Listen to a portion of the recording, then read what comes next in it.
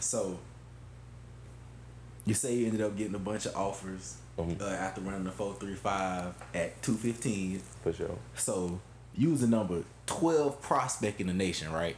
12 prospect in the nation, number two or three running back in the nation, and then number one fullback because we ran the wing T in the nation. So what's it like?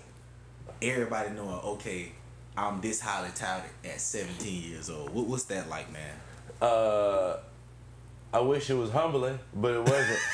I was the man, and um, I try to stay as humble as I can, but especially on that field, like I'm just I talk crazy to people, but it was it was it opened so many doors that I don't know that if I wasn't that talented or didn't have that that that prestige behind my name that it probably wouldn't open. But like it was it was open up like because of my name, I was taking people to Florida, UF games. We on the sideline. I'm not knowing at 17 years old that like this is crazy. They watching Tennessee and UF game where Tennessee kicked the field goal at the end of the game to beat them. They, I'm falling asleep at the game. These people are into. This is a this is a memorable moment for them. Like real life for them. I'm just I'm just bringing you out the out the love of my heart. You know what I'm saying? That's just how I am.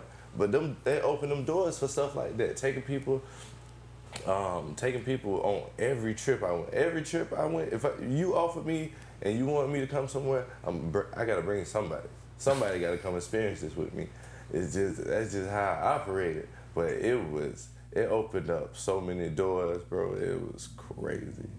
Man. Th- th- let it be known right now that J-Mo had clout before clout was clout, man. Oh, he was bringing an entourage Oh, man. to his recruiting trips, man. Where you ever heard Oh, that? for sure, bro. I mean, like if we had cameras back then, like we had today, I'd probably be in trouble, but I for sure be viral. Ain't even no question.